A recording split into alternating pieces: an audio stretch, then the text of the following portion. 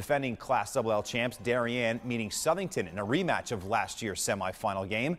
Rob Trifone's Blue Wave, the number one team in the state, first quarter on the move. Brian Peters to Spencer Jarecki, 29 yards. He's all the way down to the one yard line.